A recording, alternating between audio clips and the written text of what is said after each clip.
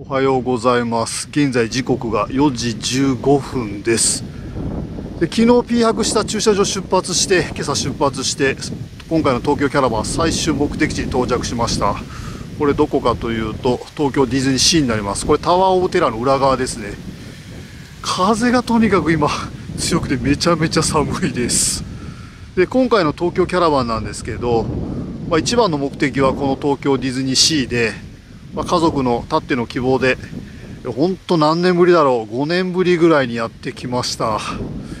今日ちょっと天気あいにくなんですけど、一日楽しみたいと思います。で、今これ駐車場待ちの列に並んでるんですけど、駐車場のオープンがまあ5時は過ぎるだろうということなので、一旦このまま仮眠します。現在時刻が5時半になりました。駐車場がそろそろオープンしそうです。とにかくディズニーランドにしてもディズニーシーにしても朝が早い。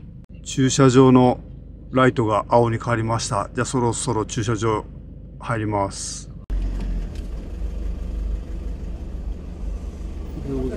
ベルト2500円です。はい、それいきます。では、3000ばっかりします。サイズが大きい区画へのご案内となりますので、ご承知ください。はいちょっと一点目印を指定させてください。レコードプレイヤーで、ただ針がなかったのか、僕がそれが知らなかっただけなのか、でパーそうで、ビ全部ビートルズっぽいのかねとかが、最初にずっと聞いてました。あその後はというわけで無事に駐車場に入庫しました。まだオープンまで時間があるので、車内でまったり過ごします。では、お疲れ様ということで、朝から一本いただいちゃいます。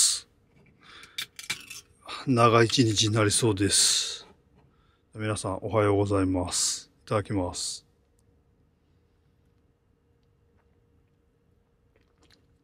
ああ、うま。7時からオープン前の列に並んでます。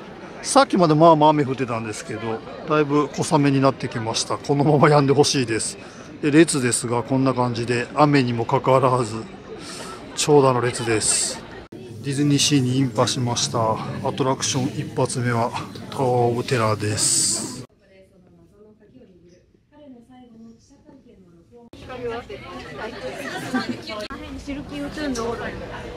本日一発目のタワーオブテラー終了しました。いや、やっぱ面白い。次は、タートルトーク行ってきます。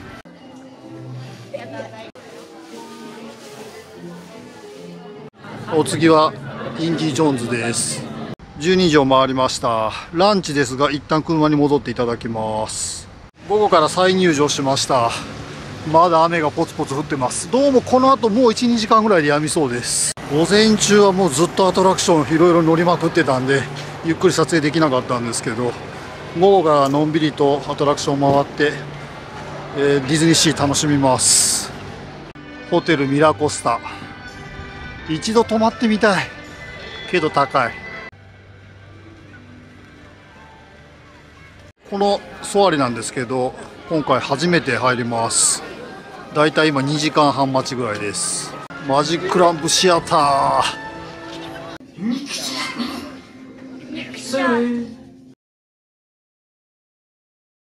ディズニーシーの夜景めちゃめちゃ綺麗です。